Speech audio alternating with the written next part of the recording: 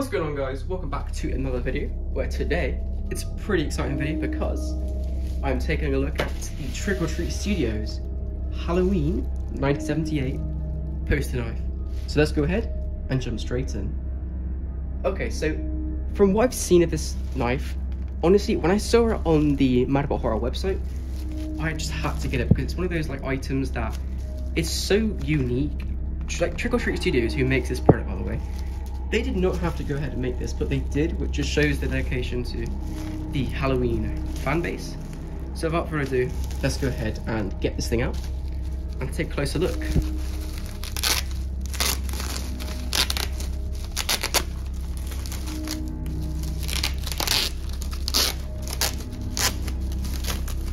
Alright, here you guys go. Here is a look at the knife.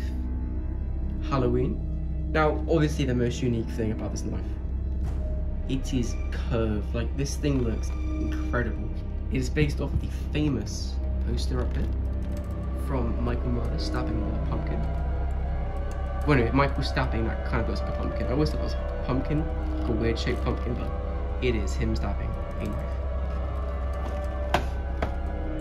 Okay, so I'm actually really happy this came in a box because the Halloween Ends knife, which is up there, It didn't come in a box, which I was kind of disappointed about, but honestly, that's okay since this it seems more of a collector's item than a like a party or a costume prop, but you can use it for anything really. And on the back we get this, here's the back, we get the Halloween logo, and a really cool, the night he came home with Michael Myers stood on the stairs.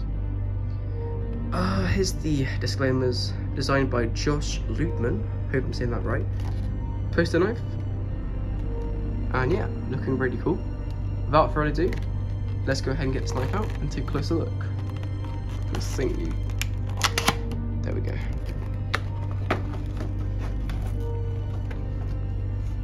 And this knife is awesome looking.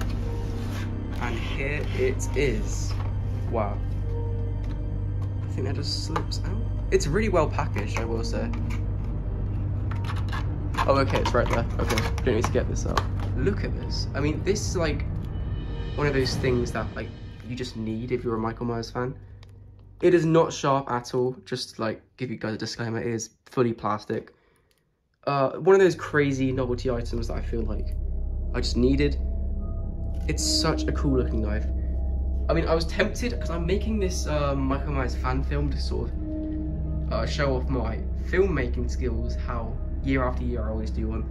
I was tempted to throw this thing in and like confuse like the audience because obviously if Michael starts running around with this, it's sort of like what is going on? Because it's one of the funkiest looking knives if you use it as a regular knife because you can't you can't cut with this obviously. It's curved right? But I feel like for the poster I definitely have to use this because it's too cool to pass there's a look at the awesome knife I'm just so happy with it. Let's take a closer look at the handle first. Okay, so it's a painted, I think, piece of plastic, painted just like the knife that he uses in the film. There's a look at the painted on, there's a look at the handle. It's all plastic, I believe. And then the rest of the handle is this really nice plastic, which feels pretty solid actually. I don't think that you're gonna like you're gonna break this by like actually stabbing it into something, but I'd be pretty careful anyway. There's a very cool look, you can see the, logo back there. Definitely one of the coolest items I own. I would love to do, like I said, my own photo shoot with this and try to recreate the, the photo. I'll give it a go, and if I get any good results, I'll post it onto here. But yeah, here's a look at the knife. Um, it's very nice quality, like I said. Very nice firm fitting handle. Uh, I'll probably get this framed or something, but I think I'll just keep it in the box since it has some very nice cover up. There's the poster itself, you can see how he like held it. Like that. Uh, I don't know if the one they used for that poster was like one like this or just a work of art, like a painting or a drawing or something, but my guess it's a painting. But I still love how Triple or Studios made this because like it's just such a cool looking knife. Uh, very nice piece. Very happy with this. I think it's definitely gonna look awesome displayed on my room, or in my room rather. Um, you can check out my review for these guys. Uh, I'll link a card or something up. But as for the knife, I love it. Um, I definitely recommend this. Out of 10, I give this thing a solid 10 because you can't go wrong with it. It's one of those things that, like I said, Trick or Treat Studios didn't have to make this, but I think it's such a nice novelty item to get. You sort of just need it if you're a Halloween fan. And yeah, that is pretty much it for this video. Really hope you guys did enjoy. I think I got this for £25 or so off um, Horror. I'll leave a link in the description if you guys want to go get this. I'll also leave a pinned comment for those of you who want to go get this as well. But yeah, very nice looking knife. Very happy with it. And yeah, it's to look awesome with a Michael Myers uh, costume. If you want to do it for a costume, I think you probably can get away with it because I think people will know what it is. My only guess is people will ask, why is the knife bent? You can just explain to them. It's from the poster, but yeah. Very nice piece, very happy with it.